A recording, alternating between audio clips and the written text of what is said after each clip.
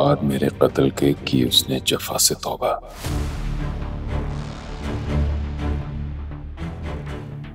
मेरी घरदारियाँ बर्बाद कर देना।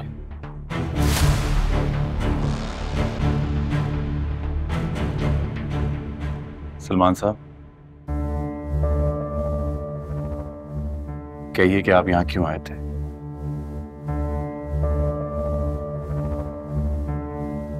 मेरी तुमसे कभी कोई डायरेक्टली बात नहीं हुई।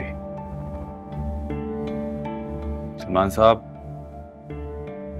आप जो कहने के लिए आए हैं खुल के बात कीजिए। या आपके और मेरे सिवा कोई नहीं। है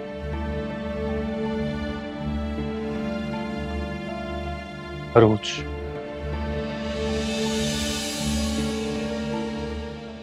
तुम्हारे और अरूज के दरमियान क्या ताल्लुक है? ये सवाल आपने रूस से क्यों नहीं पूछा? वो बेहतर जवाब देती। वो बेहतर नहीं बता रही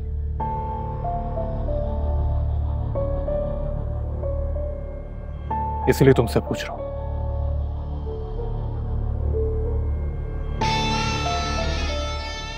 जवाब दो मेरी बात का।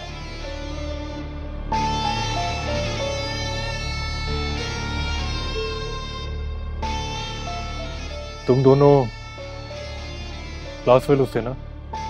जी। ऐसे ही।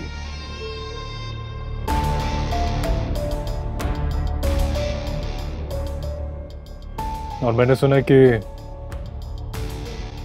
तुम मरूज को पसंद करते थे।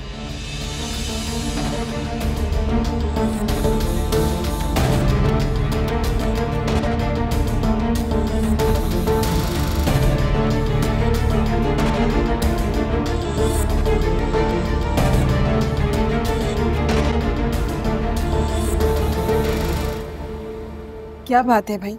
बहुत खामोशी है। कुछ नहीं अम्मी। मुझे दे दीजिए। और आप जाइए। जाके आराम कीजिए। बेटा अगर दिल में सुकून हो ना तो ज़िंदगी में आराम ही आराम है।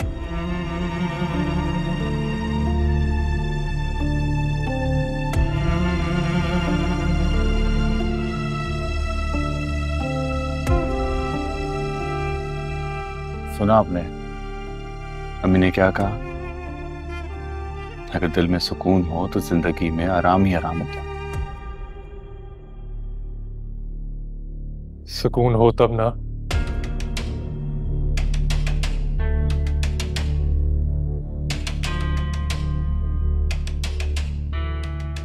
मेरी बात का जवाब नहीं दिया तुमने। सलमान साहब मेरा यकीन कीजिए आपके सवाल से ज़्यादा अहम ये गर्मा गर्म चाय है। पीजिए।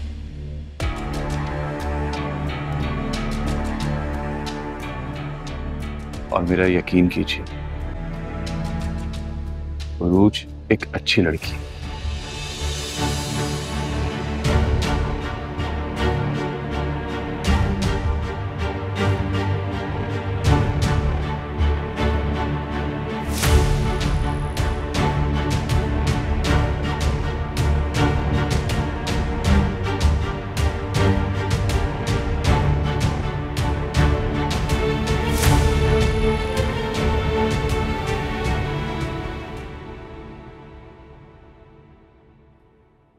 वसाई बताएँ, कैसे लग रहा है ये चेंज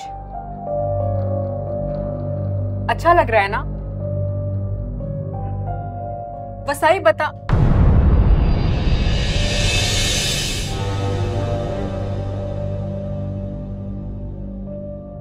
आंटी, आप? अरे वाह। तुम्हें कुछ ज़्यादा जल्दी घर सजाने संवारने का ख्याल नहीं आ गया?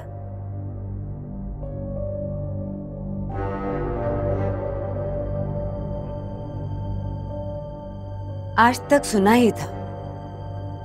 अब देख भी लिया।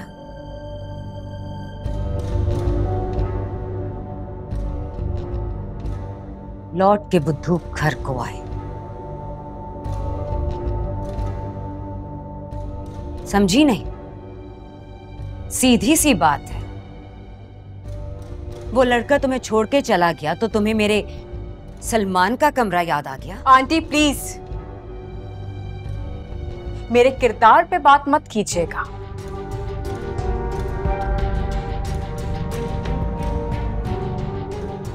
मैं जानती हूँ कि मुझे तकलीफ़ देना आपको बहुत पसंद है।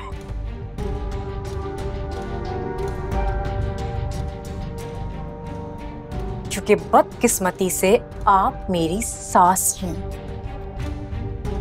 बदकिस्मती? हाँ बदकिस्मती। बदकिस्मती से आप मेरी सास हैं।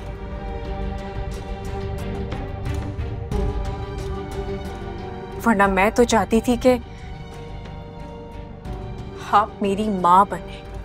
अगर तुम जैसी बेटी होती ना मेरी तो मैं अपने हाथों से उसका गला दबा के मार देती।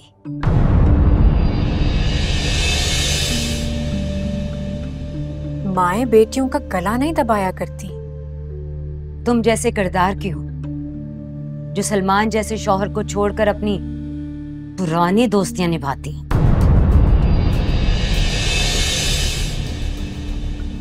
तो उन्हें जान से मार ही देना चाहिए। बस कर दें आप। आप बस। मैं तो बस कर ही चुकी हूँ। अब सलमान की बारी है।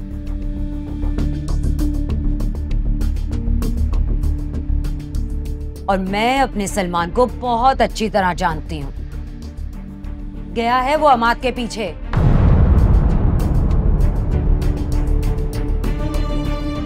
दुआ करो तुम अरूज कि कहीं अमाद सलमान के हाथ ना लग जाए।